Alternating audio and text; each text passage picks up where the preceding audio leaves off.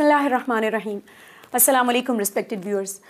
We are once again back with your favorite current affairs program, Beacon. In this program, we take a leading socio political issue, invite a special guest to discuss that issue in detail so that our viewers can gain a better insight.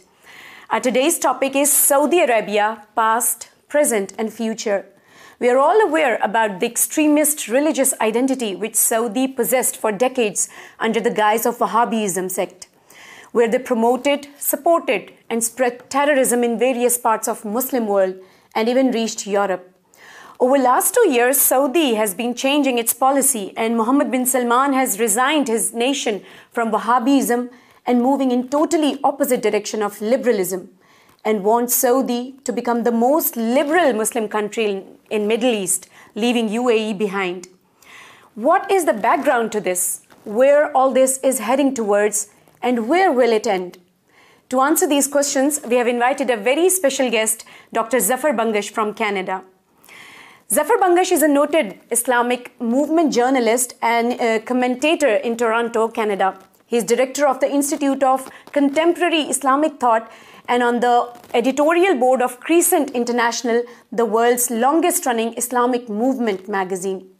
He is also Imam at the Islamic Society of York Region's Mosque and Community Center in Richmond Hill, Ontario.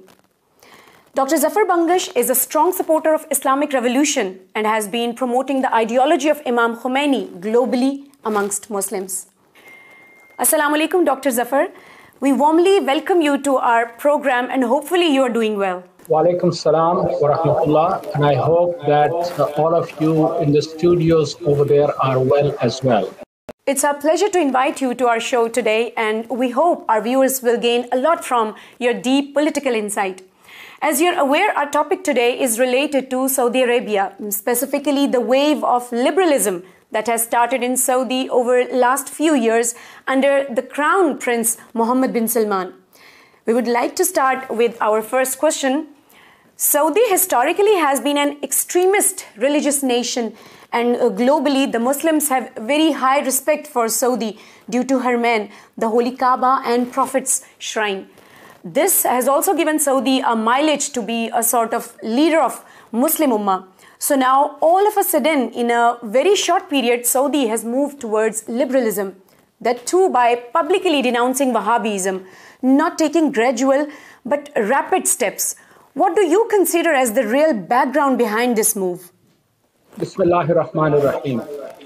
With respect to the Saudi drive towards so called liberalization, is the fact that there is a young man, inexperienced, impulsive, um, prone to bouts of anger and other uh, temperamental problems, that uh, most of his policies, uh, since he became the crown prince, or in fact, as soon as his father took over the kingship, King Salman, uh, he was uh, Mohammed bin Salman was appointed uh, defense minister as well as uh, chief of the royal court, and he was basically the de facto ruler. And since he was very young and inexperienced, and there were a number of other uh, princes that were uh, senior to him and much more experienced, and they had a lot more contacts worldwide. Uh, Mohammed bin Salman had to embark on various policies in order to ingratiate himself to the West. What he basically calls liberalization and his uh, uh, media supporters in the West call liberalization is not actually liberalization. It is vulgarity that is being introduced in the Saudi society that had for at least uh, 90 years been uh, following a very strict religious uh, interpretation of Islam, and they basically pretended to be the leaders of the Muslim world. So these policies of liberalization, uh, so-called liberalization, are actually policies of vulgarity that Mohammed bin Salman is pursuing in order to gain acceptance in the West, uh, because he understands that if he has acceptance in the West, that he would be able to uh, become the king and continue as the ruler of Saudi Arabia. Uh, and of course, you know, as I mentioned, this liberalization is actually uh, vulgarity. Uh, he's introducing, for instance, um, these uh, Western style concerts. As we speak, there are concerts going on in Jeddah. They started in 2019, and um, in 2021, they started in October. They will continue all the way up to March of 2022, in which hundreds of thousands of people participate, especially men and women, um, without hijab, na mehram, mixing freely, dancing, and even uh, alcohol consumption, etc. This is what he is referring to as liberalization. And of course, this is something that is uh, prevalent in the West as well. So, this is the route that he thinks he is going to follow in order to gain acceptance in the West. But, sir, uh, were these royal family prince and kings liberal from before and just for political reasons they were promoting Wahhabism? Or they were all strictly religious before, but now for political gains and political profit, they have become liberal? Which way it is? Well, basically, uh, in the past, uh, when they followed this uh, very narrow, archaic interpretation of Islam, this was based on the fact that back in 1744, when these um, Saudis, Bani Saud, erupted from Daria, uh, the backwaters uh, of Najd, uh, they struck an alliance with uh, Muhammad bin Abdul Wahhab. And the, the deal was that the Bani Saud would be in control of worldly affairs, and Muhammad ibn Abdul Wahhab and his followers would be given uh, authority in religious matters. And uh, this compact, of course, um, served them well because they went around the world trying to project themselves as being very religious and so on. And this image, of course, was boosted by the fact that uh, Makkah and Al Madinah are located in the Arabian Peninsula, in the Hijaz, which the uh, Saudis um, occupied in 1924 and 1925, respectively. And Muslims worldwide naturally have great reverence for the Haramain. And of course, Makkah is the first uh, house of Allah on earth, and Medina al Munawwara is the resting place of uh, the noble messenger of Allah sallallahu alaihi wasallam. And so Muslims have deep respect and reverence for these two places. And as a consequence, they extended this reverence to the Saudi rulers as well. In fact, it was quite um, uh, you know quite uh, strange because the Bani Saud were never really uh, religiously oriented. They continued to indulge in all kind of vulgar conduct. There is in fact an episode back at the time of uh, uh, King Fahd. He was an alcoholic. He used to do all kinds of other fahash things. Uh, when he used to import alcohol from Europe and other places around the world, um, these uh, huge crates would be marked as religious books. Uh, this is well documented, this is well established, and, and they continue to indulge in this kind of behavior even before. But they put up this facade of Islamicity so that they could fool the Muslims of the world to pretend that they are really custodians of the two holy places and that uh, they are following the, the rules of Islam. They also did other things. For instance, uh, the Saudis went around the world. They were flushed with money, with petrodollars. They spent this money uh, buying people's loyalties all over the world, including in Pakistan, in India, in Bangladesh, in part many parts of Africa, in uh, Indonesia, Malaysia, etc. You name it, and they went and bought loyalty of the people including North America, incidentally. And, and there are, of course, you know, many, many uh, communities, etc., in North America where uh, the Saudis have invested heavily and uh, they have bought people's loyalties. Now, of course, things have changed since 9 11, but they, they bought these um, people's loyalties at that time. So, even in the past, the Bani Saud were not truly uh, committed to Islam, although their constitution, which was given by King uh, Fahd back in 1992, it states in Article 5C of the Constitution that the Constitution of Saudi Arabia would be the Quran and the teachings of the Prophet sallallahu alaihi wasallam. I think if we review their policies, they have nothing to do with the Quran. They have nothing to do with with the the Prophet's uh, Sunnah or Sirah. Uh, in fact, their policies have always been contrary to the teachings of Islam. There are two very simple facts. Number one, that um, uh, there is no kingship in Islam. Uh, number two, that uh, an Islamic country cannot be subservient to the kuffar. And we see that the Saudi regime violates both these injunctions. So any country that calls itself kingship is automatically un-Islamic. It cannot be accepted as Islamic. And if it is subservient to the kuffar, whether it's the US, Zionist Israel, or other you know, members of the kufr fraternity, then again, they are uh, outside the fold of Islam. So Saudi Arabia had never followed Islam. It was just a facade that they presented to the world to fool the Muslims. And of course, they bought the loyalty of Muslims worldwide.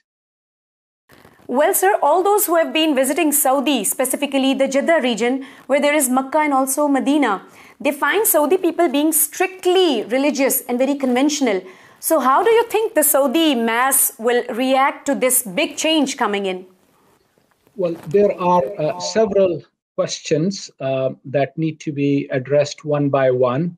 The first question, with respect to the people that live in the Hijaz, it is true that the people of Hijaz are different from the people in the rest of the Arabian Peninsula. Uh, the people of Hijaz, obviously, because of the fact that they live in Makkah and Al Madinah, uh, have a different uh, approach and inclination to Islam. Uh, in particular, I would say in, in Medina, there are, in fact, um, uh, many people, uh, they are very good Muslims they adhere to the uh, teachings of Islam. They have deep love for the noble messenger of Allah sallallahu alaihi wasallam. They even in the past uh, and still do they they, they organize um, milad programs, but in their homes because the Saudi regime does not allow these kinds of celebrations to take place. So this is one aspect.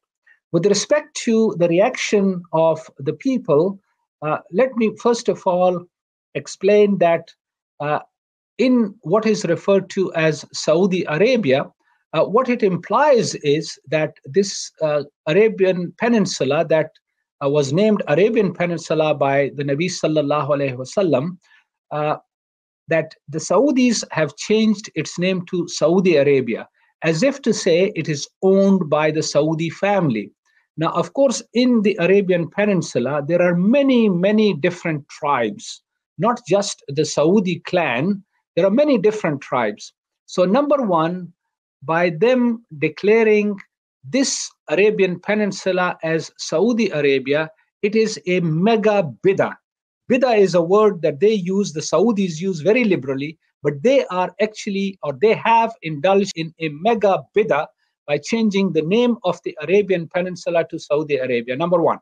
Secondly, there have been over many years uh, scholars in the Arabian Peninsula uh, who have objected to the policies that the Saudi regime is pursuing.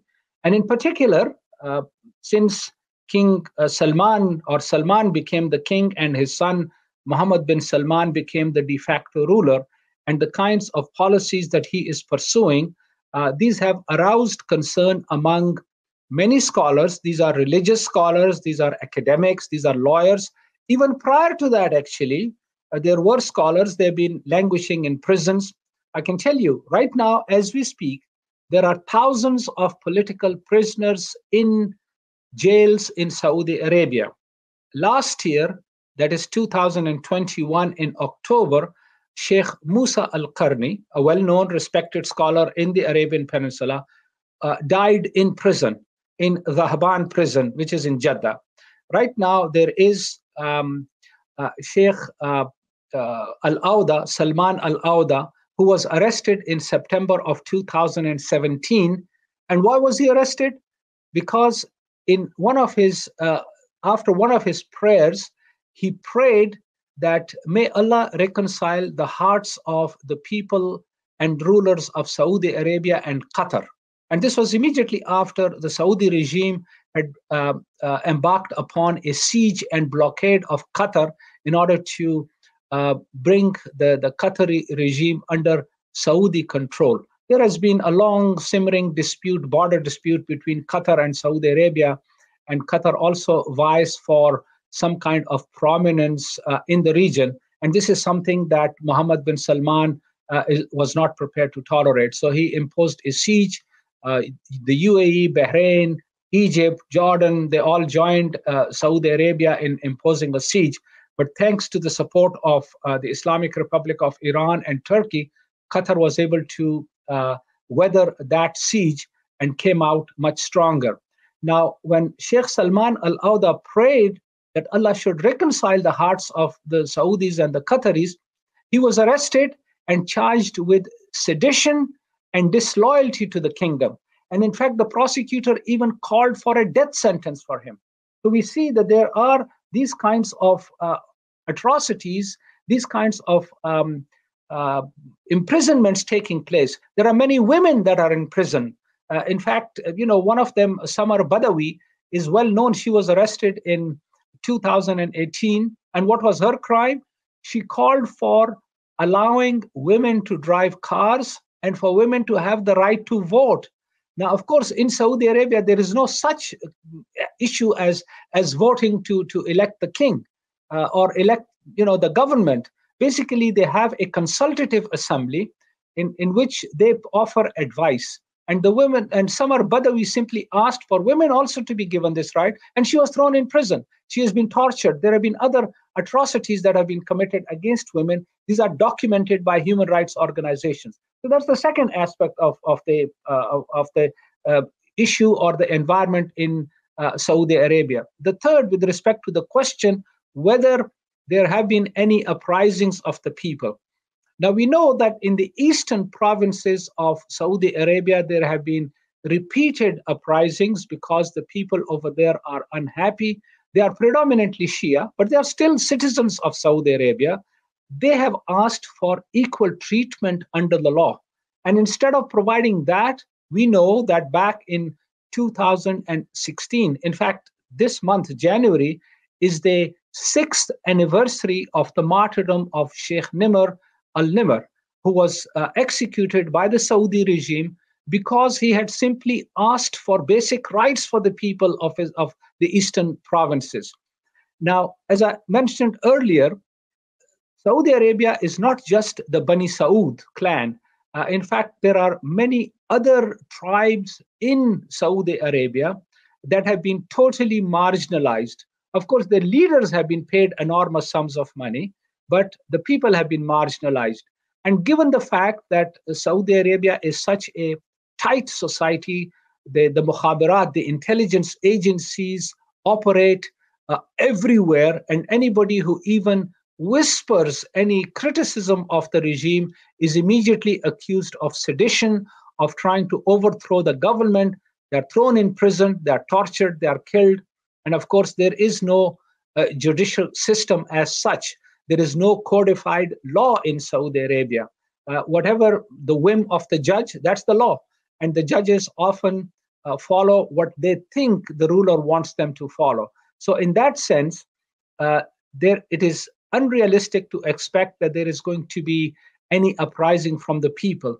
And as we mentioned earlier, this uh, campaign of vulgarity that the that the Saudi regime has embarked upon, this is to divert the attention of their people uh, to introduce a hedonistic culture to them so that they would be engrossed in these vulgar activities and they would not think about the legitimacy or in fact the illegitimacy of the regime. And so they want the, the bani saud clan uh, wants to prolong its uh, existence in power. But with respect to any uprisings i think that is unrealistic. What is more likely to happen is that because of the uh, the war, the vicious war that uh, Mohammed bin Salman launched against Yemen, that that war might come to haunt him because uh, the Ansarullah fighters in Yemen are putting up a brilliant resistance despite lack of weapons. what they lack in weapons, they, they make up in Iman. And so far, they have stood their ground and they have even launched attacks against uh, military installations inside Saudi Arabia. And the longer this war uh, continues, the more sophisticated and powerful Ansarullah will become. And that might actually lead to some kind of a revolt within the Saudi army itself. But regrettably, I'll have to say that unfortunately, as far as the people of Saudi Arabia are concerned, they are not likely to rise up against this uh, despicable regime anytime soon. Right, sir. Globally, even though Muslims have liberal views spread across, but still there is a huge number of practicing Muslims who do not consider things like non enforcement of hijab, uh, casinos, alcohol, dance concerts, nude beaches, adultery as uh, acceptable and Saudis enforcing these evil traits. So, what would or is this the global impact of these liberal moves by Saudi on global Muslims? Will they still consider Saudi as their ideal or they will distance from Saudi?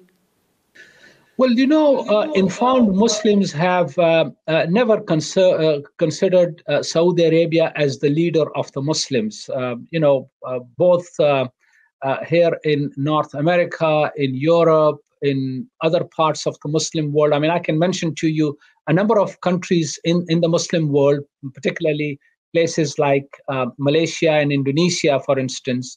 Um, of course, regrettably, uh, Pakistan is a sad case. Sad because uh, there has been a tremendous uh, negative Saudi influence in society, although there are many groups and organizations in Pakistan that are deeply troubled by what the Saudi regime um, is doing and has been doing in the past. So, with respect to the uh, acceptance of Saudi Arabia as the leader of the Muslims, I think that is a um, really a, a propaganda tool that the Saudis have used because they have used their enormous wealth to buy people's loyalties. You know, I was personally struck by the fact that um, until a few years ago, there was hardly any criticism of Saudi regime policies in uh, Pakistani media, but now it has started. I recall back in 1985, uh, we in the Crescent International magazine had published a, an editorial criticizing Saudi policies, and this editorial was reproduced by a Pakistani newspaper in Islamabad. And of course, the intelligence agencies and the information ministry immediately contacted the editor of this newspaper and threatened him, saying that you are trying to disrupt Pakistani relations with Saudi Arabia by publishing this uh, article in your newspaper. And the poor editor had to explain to the information ministry officials that well we this is not something that we wrote. This was published in a crescent international magazine which is published from toronto canada and we simply reproduced it. But the editor he told me personally he said that he was uh, he was threatened and he was told that he should not uh, re- even republish such articles. But now we see a very different situation in pakistan at least the, the English uh, uh, media that I scan and read, I find that there are articles that are critical of the Saudi regime. So we see that the tide is turning, that people, even liberal Muslims, are horrified by the vulgarity that the Saudi regime is uh, pursuing and indulging in. Uh, you know, on the Red Sea coast, they are going to establish a, uh, a holiday resort, basically a beach where uh, women can go around in bikinis. Alcohol will be served. Gambling is allowed. All kinds of other vulgarities uh, will take place. The Saudis are now basically competing with Dubai in seeing who is going to be more vulgar. And so, unfortunately, this is a very negative trend. And the more Muslims become aware of it, the greater would be their revulsion against the policies of the Saudi regime. Interrupt you, but uh, in some countries, like in Pakistan, if a person is uh, saying something against Saudi Arabia or denouncing Saudi Arabia, it automatically means that the person is uh, supporting Iran. Under this situation, where people are becoming aware of the atrocities of injustice of uh, Saudi Arabia, do you see that in countries like Pakistan as well, uh, and for the whole Muslim world, Iran is going to be the new leader of Muslim Ummah?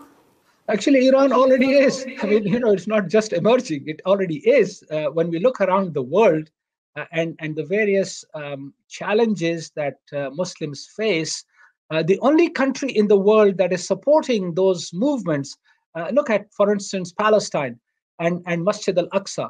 Both are very close to the hearts of Muslims worldwide. It is no matter what uh, you know persuasion the Muslims may be, but Palestine and uh, Masjid al-Aqsa are very close to the hearts of Muslims. I mean, after all, Palestine has is referred to as the Holy Land. It is the land of the prophets, and so in that sense, Iran's support for the Islamic struggle and the struggle of liberation of Palestine has earned it enormous goodwill. The same applies to Iran's support for, for instance, uh, Hezbollah's right to defend itself against Zionist aggression. The same applies in Syria. It has been Iran's help that has enabled Syria to withstand this Zionist imperialist uh, Saudi conspiracy to destroy Syria. Syria has been destroyed, but at least the government is still intact. The same applies in Iraq, where these Daesh terrorists uh, were defeated through the help of um, Iran, and in particular, uh, Shahid General Qasim Soleimani, whose anniversary is today, the second anniversary. And there have been programs all over the world to commemorate the martyrdom of General Qasim Soleimani. So the issue in the Muslim world is no longer Shia and Sunni. The issue in the Muslim world is who stands up for the rights of Muslims. And the only country that stands up for the rights of Muslims is the Islamic Republic of Iran. And in that sense, it is the leader.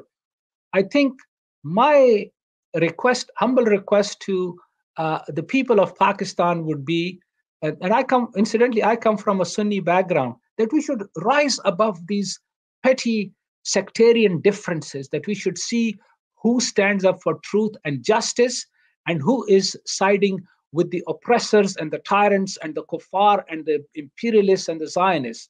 And I think any thinking Muslim would clearly come to the conclusion that today it is only the Islamic Republic of Iran that is standing up with these oppressed uh, people all over the world.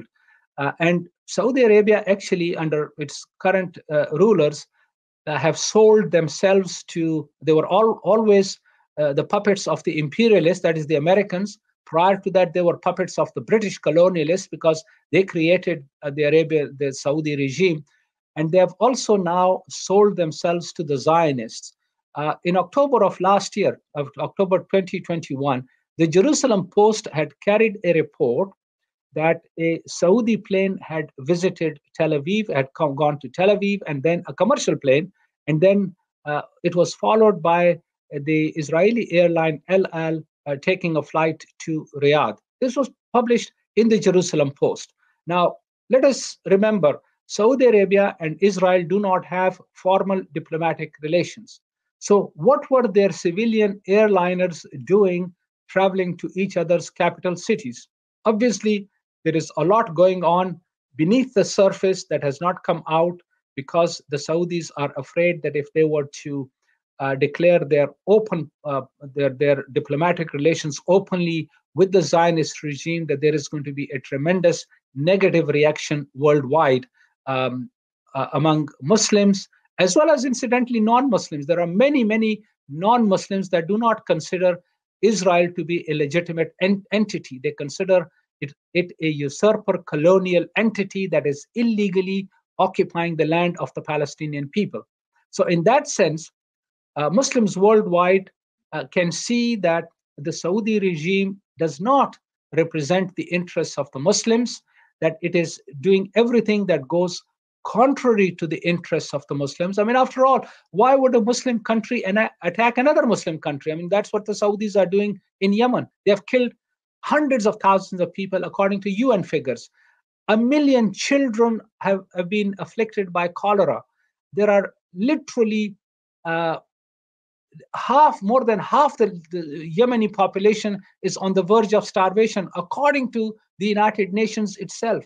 And so these horrors are being perpetrated by the Saudi regime on innocent Muslims in Yemen.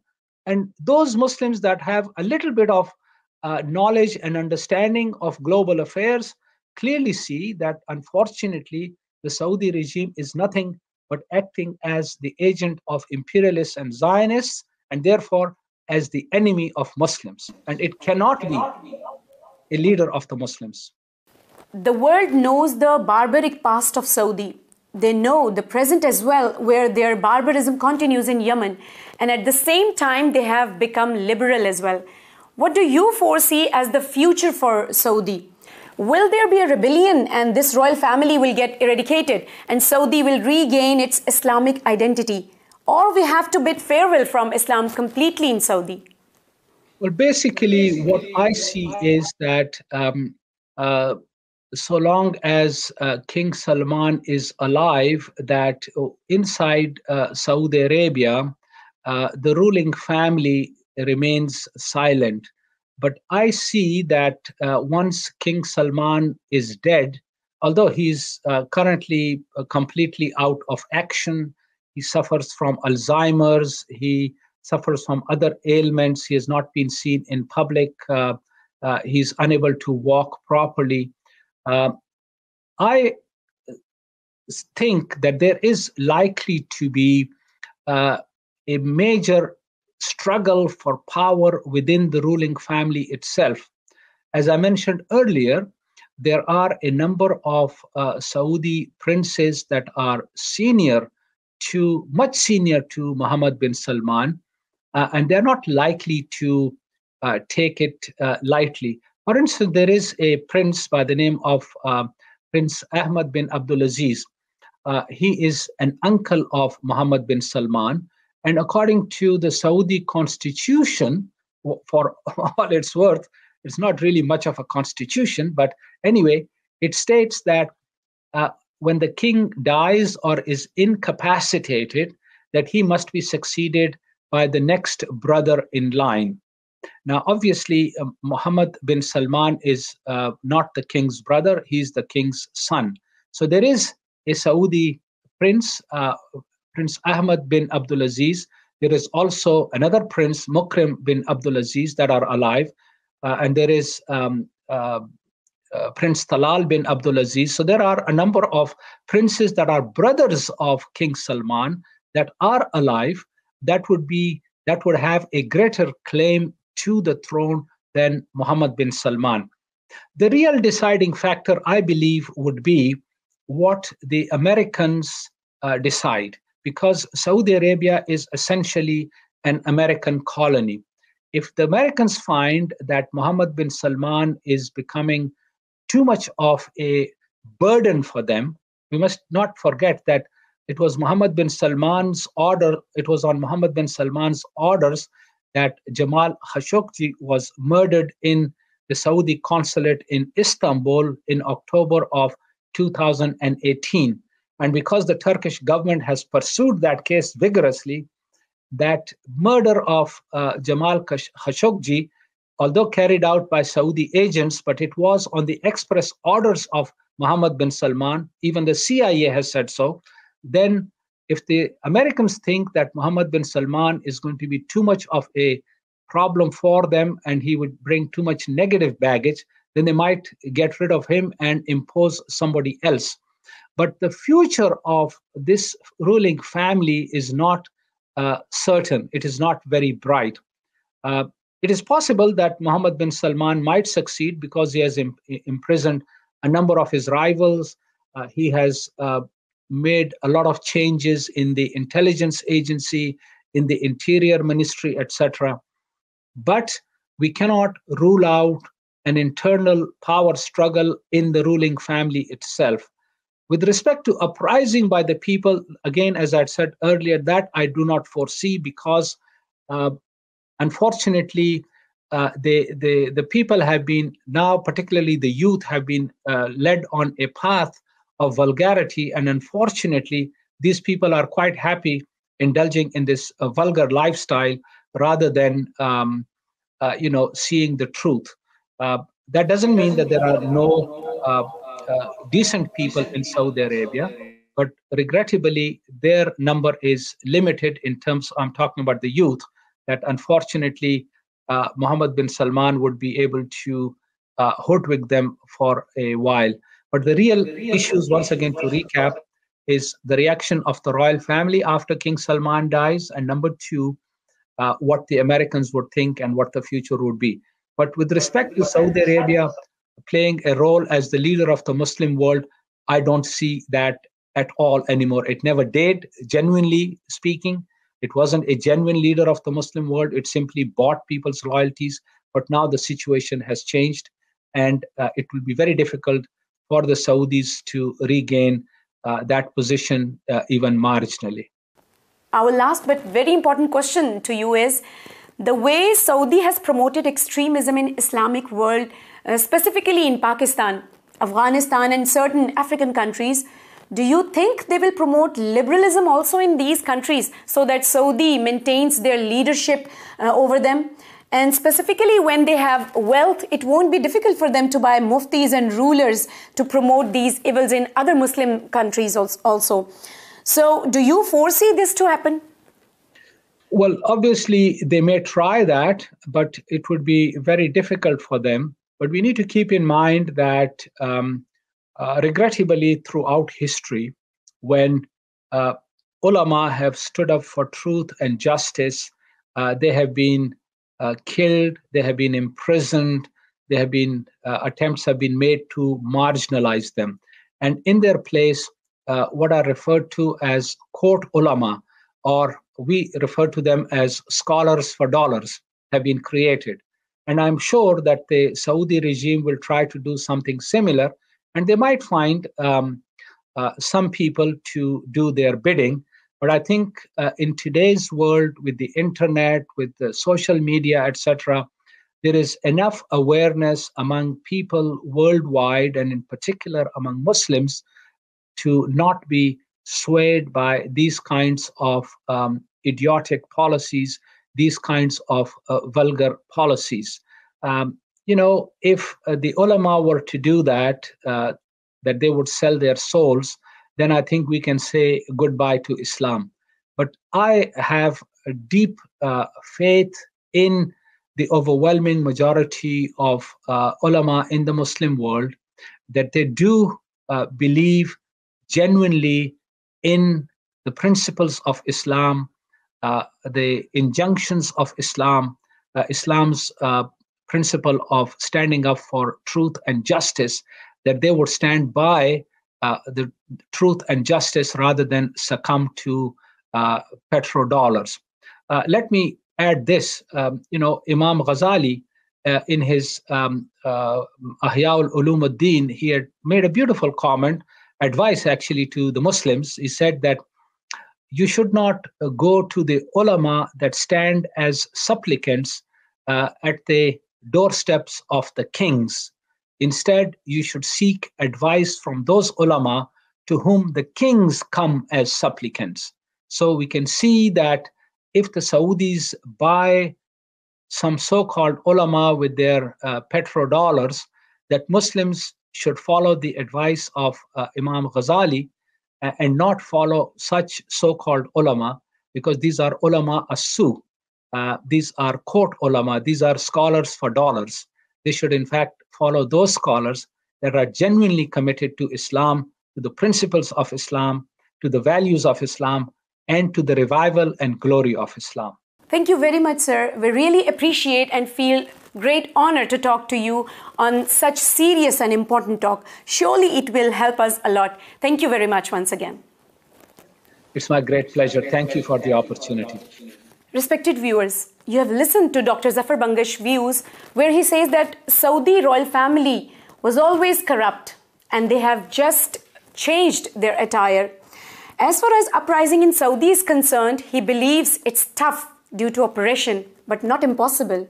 And this regime of Saudi can end if America wants to. Whether this wave of liberalism in Saudi will impact globally, Dr. Bangash believes that majority of Muslims globally do not follow Saudi and those who follow are under scholars for dollars and people shouldn't listen to them. We hope you have gained a lot from this session and we hope to bring you more such topics with deep insight. A humble request to share this in your circle. Keep watching Bithat News. Allah Hafiz.